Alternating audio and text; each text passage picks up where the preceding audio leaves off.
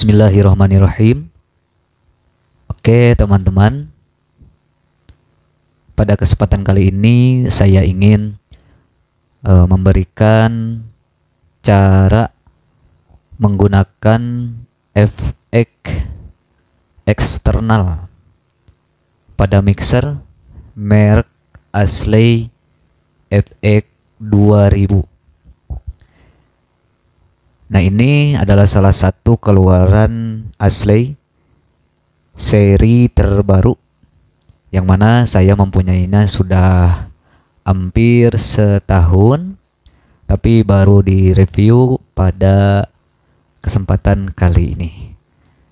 Ini harganya cukup murah ya di bawah 2 jutaan. Nah, untuk FX Asley seri FX 2000 ini sudah dibekali dengan uh, digital ya. High Thermon 30 multi engine efek prosesor nah, supaya tidak lama lagi langsung saja kita nyalakan untuk efeknya untuk tombolnya ada di sebelah sini. Nah ini adalah tampilan dari Asley FX 2000 pertama-tama kita akan siapkan dulu jack ya. Jack Akai to Akai. Ini yang saya punya. Nah, cara memasangnya cukup gampang. Kita lihat di bagian belakang efeknya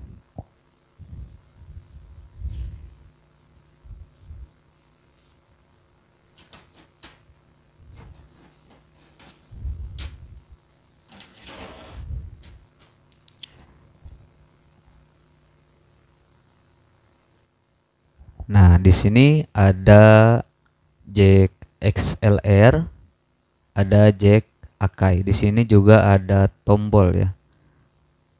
Tombol. Nah, karena saya tadi sudah menyiapkan efek Akai, jadi saya akan masukkan ke Akai. Nah, kebetulan ini saya jacknya hanya dua, jadi saya akan menggunakan uh, mono ini bisa mono, bisa stereo ya.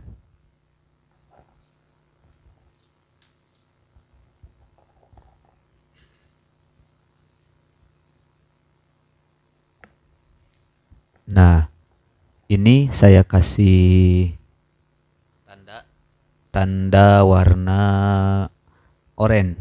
Nah, saya masukkan ke input satu.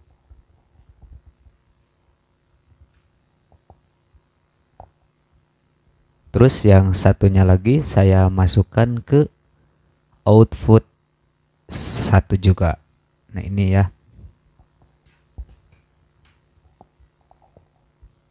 Cara memasukkan jack Akai di FX 2000. Selanjutnya saya akan masukkan ke mixernya. Bisa dilihat ya saya menggunakan mixer Ashley nah ini yang tanda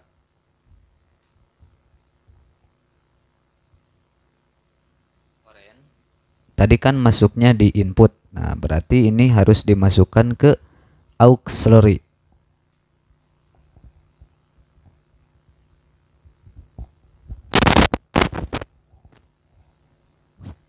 dan yang satunya lagi yang output dari FX masuk ke channel.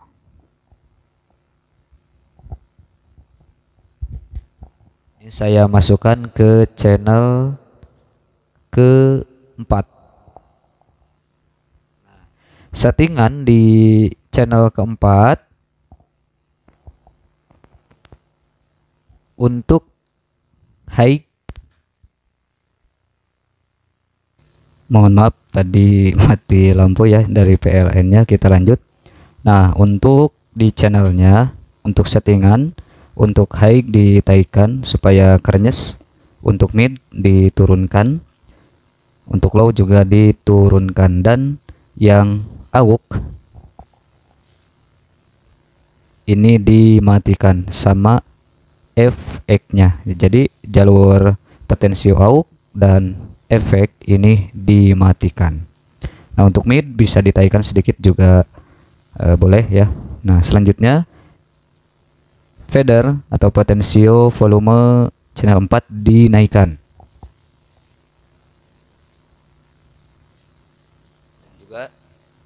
Sedu oh cik sedu Nah, sudah kerasa kan? Untuk efek di channel 1 karena ini jalur mic ya, juga ditaikan. Kalau ditutup tidak ada. C A tik dua C. Nah, dan, dan jangan lupa ini volume volume AUX-nya juga dinaikkan potensinya C low A si dua tiga T ini adalah suara reverb dari FX asli FX 2000 ini sinyalnya sudah ada ya mono. Sik cik a t low satu tiga. Karena saya, saya sudah men-settingnya di reverb. Oke kita akan bandingkan dengan FX internal yang ada di power mixer asli M6000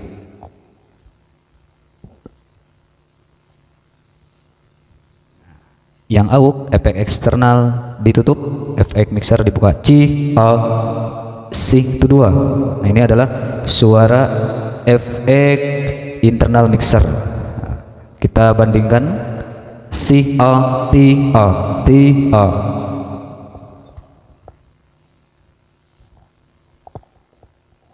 Ini yang mixer. Eh mohon maaf ini yang asli eksternal. C O S kalau ingin lebih kerenyes lagi tinggal naikkan high-nya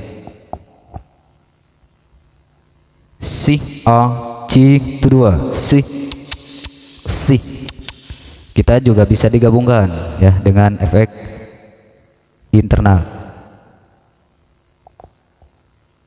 C kedua C O T T T Nah, misalkan eh, kawan-kawan uh, ingin reverb delay yang efek eksternal pakai reverb, yang efek internal pakai delay. Nah, tinggal kita setting ke settingan delay untuk di internalnya.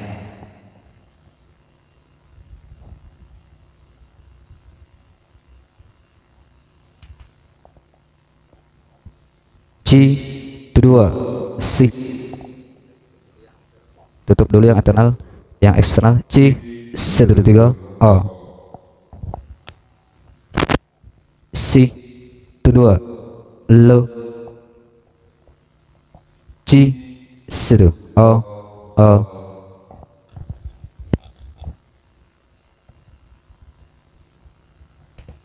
C itu dua.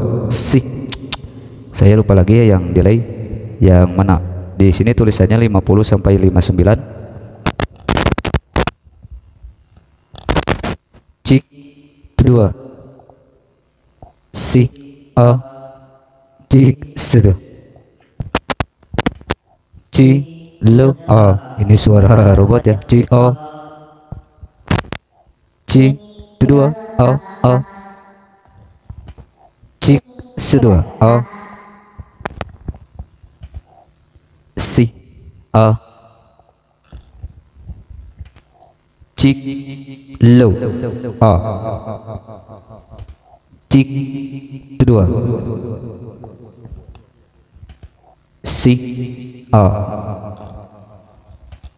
Cik kedua si a.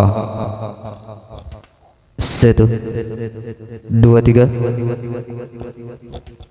Cik set oh ini uh, efek delay tetapi adanya di gate reverse one misalkan ya ini efek internal delay dan untuk reverbnya eksternal kita buka potential out